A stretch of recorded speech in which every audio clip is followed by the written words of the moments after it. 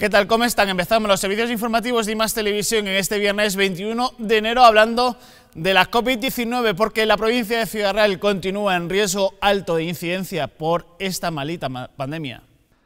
Ciudad Real Capital presentó 1.412 casos de coronavirus por cada 100.000 habitantes en la semana comprendida entre el 10 y el 16 de enero cuando registró 1.066 positivos según los datos publicados este jueves por la Consejería de Sanidad.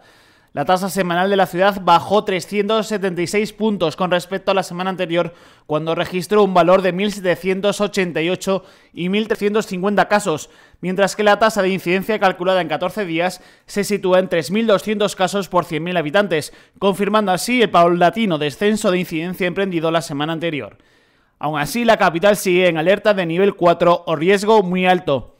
El municipio registró 1.066 casos de positivo por COVID-19 en esa semana, lo que supone un descenso de 284 casos con respecto a la semana anterior.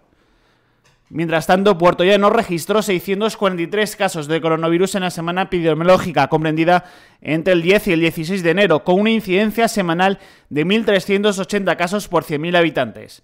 La tasa de incidencia calculada en 14 días se sitúa en 2.847 casos por 100.000 habitantes, un nuevo récord epidemiológico en la ciudad, aunque la curva se doblegó ligeramente al descender ligeramente la tasa con respecto a la semana anterior.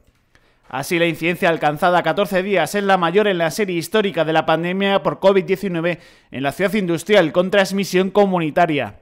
Respecto a la incidencia semanal, bajó 88 puntos con respecto a la semana anterior, cuando registró una semanal de 1.467 casos y 684, por lo que la ciudad sigue en valores de alerta 4, el máximo o riesgo muy alto.